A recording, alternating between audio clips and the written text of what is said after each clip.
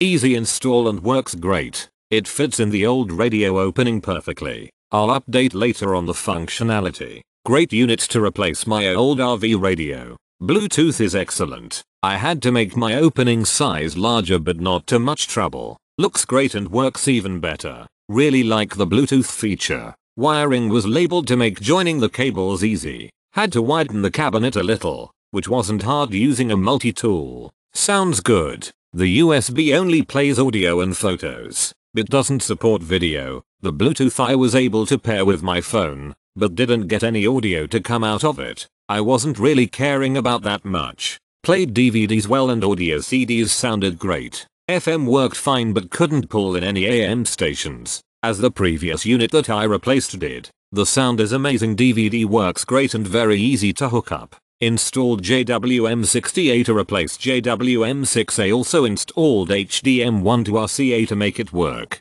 JWM6A no longer available. JWM60A fits RV cabinet without modifications perfect fit. I am unhappy with this product. I upgraded my worn out travel trailer radio with the Jensen product. Installation was pretty easy. The unit looked great and everything worked from the get go. It does not send really a whole lot of power to the four speakers in the trailer. It does not produce enough juice to get much over a conversation level. Connecting to Bluetooth was kind of a pain. I did download the Jensen app and decided it was useless. Finally got it connected and two days later Bluetooth no longer will connect. Researched this online and most everyone was complaining about the same thing. You must power it completely off pretty and restart to get it to work. Which means taking the head unit out and resetting it or flipping the breaker on my 12 volt system this is an easy task. We are, are not returning it. I took a bunch of time to install it and I do not want to do it again. So long story short,